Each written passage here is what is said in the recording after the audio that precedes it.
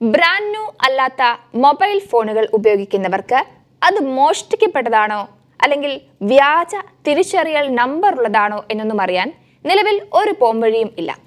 അപരിചിതനായ mobile ഫോണുകൾ ഉപയോഗിച്ച് അപകടങ്ങൾ വരുത്തി വെക്കാതിരിക്കുക എന്നത് മാത്രമാണ് ഇതിനുള്ള ഒരേ ഒരു പോംവഴി ഇപ്പോഴിതാ മോഷ്ടിക്കപ്പെട്ടതോ അല്ലെങ്കിൽ നഷ്ടപ്പെട്ടതോ ആയ മൊബൈൽ ഫോണുകളുടെ ദുരുപയോഗം തടയാൻ ഒരു പുതിയ നിയമവുമായി കേന്ദ്രം രംഗത്തുണ്ട്.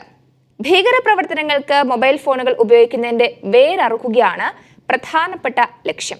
ഇനി മുതൽ മൊബൈൽ നിർമ്മാതാക്കളും അതുപോലെ തന്നെ ഇറക്കുമതിക്കാരും ഐ എം ഇ ഐ നമ്പറുകൾ പോർട്ടലിൽ അപ്ഡേറ്റ് ചെയ്യണം. അതായത് മോഷ്ടിച്ച മൊബൈലുകൾ ഇനി മുതൽ ഉപയോഗശൂന്യമാകും. രണ്ടായിരത്തി ഇരുപത്തി മൂന്ന് മുതൽ ഇന്ത്യയിൽ മോഷ്ടിച്ചതോ വ്യാജമായതോ ആയ മൊബൈൽ ഫോണുകൾ സേവനത്തിൽ ഉണ്ടാകില്ല എന്ന് ഉറപ്പുവരുത്തുകയാണ് പ്രധാനപ്പെട്ട മറ്റൊരു ലക്ഷ്യം. ഇന്ത്യയിൽ വിൽക്കുന്ന എല്ലാ മൊബൈൽ ഫോണുകൾക്കും ഡിജിറ്റലായി ട്രാക്ക് ചെയ്യാൻ കഴിയുന്ന നിയമാനുസൃതമായ I M E I number ഉണ്ടെന്ന് ഉറപ്പാക്കാനാണ് പുതിയ നിയമം ഉദ്ദേശിക്കുന്നത്. മോഷ്ടിക്കപ്പെട്ടതോ നഷ്ടപ്പെട്ടതോ ആയ സ്മാർട്ട് ഫോണുകളുടെ ദുരുപയോഗം തടയാനായി സർക്കാർ കടുത്ത നടപടിയാണ് സ്വീകരിച്ചിരിക്കുന്നത്. രണ്ടായിരത്തി ഇരുപത്തി മൂന്ന് ജനുവരി ഒന്ന് മുതൽ എല്ലാ മൊബൈൽ ഫോൺ നിർമ്മാതാക്കളും ഇന്ത്യയിൽ നിർമ്മിക്കുന്ന എല്ലാ ഹാൻഡ്സെറ്റുകളുടെയും I M E I number വ്യാജ ഉപകരണങ്ങളെക്കുറിച്ചുള്ള വിവരങ്ങൾ ശേഖരിക്കുന്ന പോർട്ടലിൽ അതായത് I C D R dot C I R dot G O V ഡോട്ടിനിൽ register ചെയ്യണം. ഇത്തരം സാഹചര്യങ്ങളിൽ ഇന്ത്യയിൽ വിൽക്കുന്ന എല്ലാ മൊബൈൽ ഫോണുകൾക്കും ഡിജിറ്റലായി ട്രാക്ക് ചെയ്യാൻ കഴിയുന്ന I M E I number ഉണ്ടെന്ന് ഉറപ്പാക്കാനാണ് പുതിയ നിയമം. ഇതിലൂടെ സ്മാർട്ട് ഫോണുകളോ ഫീച്ചർ ഫോണുകളോ നഷ്ടപ്പെടുകയോ അല്ലെങ്കിൽ മോഷ്ടിക്കപ്പെടുകയോ ചെയ്താൽ ഫോൺ ബ്ലോക്ക് ചെയ്ത് സുരക്ഷ ഉറപ്പാക്കാൻ ഉപയോക്താക്കൾക്ക് സാധിക്കും. ഇങ്ങനെ നഷ്ടപ്പെട്ട ഫോണിന്റെ ദുരുപയോഗം നമുക്ക് തടയാം. ഈ നിയമം പ്രാബല്യത്തിലാകുമ്പോൾ ഇന്ത്യയിലെ സ്മാർട്ട് ഫോണുകളുടെ വ്യാജ വിൽപ്പന ഇല്ലാതാകുമെന്നാണ് പ്രതീക്ഷിക്കുന്നത്. ഇറക്കുമതി ചെയ്ത സ്മാർട്ട് ഫോണുകൾക്ക് മാത്രമല്ല ഐഫോണുകൾ പിന്നെ സാംസങ് ഗാലക്സി സ്മാർട്ട് ഫോണുകൾ എന്നിവയ്ക്കും ഈ ഒരു നിയമം ബാധകമായിരിക്കും.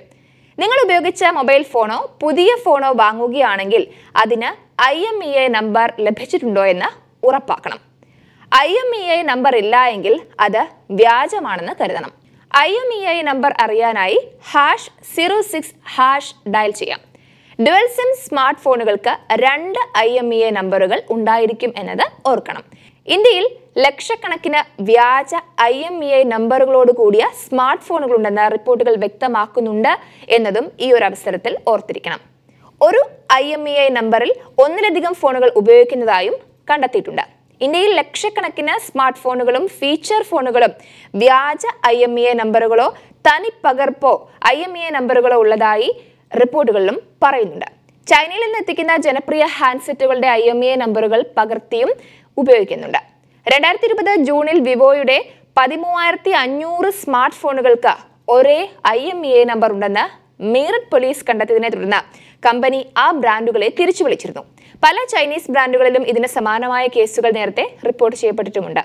I M E A number കൃത്യമായ തിരിച്ചറിയൽ രേഖയാണ്. അത് ഓർക്കണം.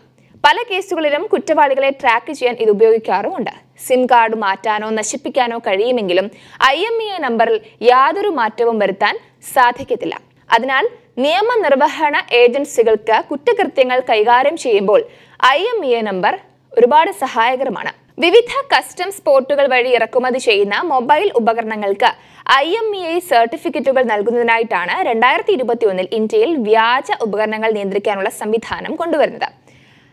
I C D R dot C E I R dot G O V dot in എന്ന web പോർട്ടലിലൂടെ I M E I registration നടത്താനും സർട്ടിഫിക്കറ്റുകൾ നേടാനും സാധിക്കും. നിലവിൽ ഈ ഒരു സേവനത്തിന് നിരക്കുകളൊന്നും ഇല്ല എന്നത് എടുത്തു പറയണം. മറ്റേതെങ്കിലും സ്രോതസ്സുകൾ വഴി നേടിയ ഐ എം ഇ ഐ സർട്ടിഫിക്കറ്റുകൾ നിയമവിരുദ്ധമാണെന്നും അവയ്ക്കെതിരെ നിയമ നടപടികൾ ഉണ്ടാകുമെന്നും കേന്ദ്ര സർക്കാർ അറിയിച്ചിട്ടുമുണ്ട്. I C D R dot C E I R dot G O V dot in എന്ന വെബ് പോർട്ടൽ വഴിയുള്ള രജിസ്ട്രേഷനും ഐ എം ഇ ഐ സർട്ടിഫിക്കറ്റിനും ഏതെങ്കിലും ഏജന്റിനെയോ മൂന്നാം കക്ഷിയോ സർക്കാർ ഏൽപ്പിച്ചിട്ടില്ല എന്നും വ്യക്തമാക്കിയിട്ടുണ്ട്. ഇനി രണ്ടായിരത്തി ഇരുപത്തി മൂന്ന് മുതൽ വ്യാജ സെൽഫോണുകൾ ഉപയോഗിക്കുന്നവർക്ക് ഈ ഒരു നിയമത്തിലൂടെ കുരുക്ക് വീടും എന്നുള്ളത് ഉറപ്പാണ്. കൂടുതൽ വാർത്തകൾക്ക് Kerala കോമതി news YouTube channel subscribe ചെയ്യുക നിങ്ങളുടെ അഭിപ്രായങ്ങൾ കമന്റുകളായിട്ട് ഞങ്ങളെ അറിയിക്കുക.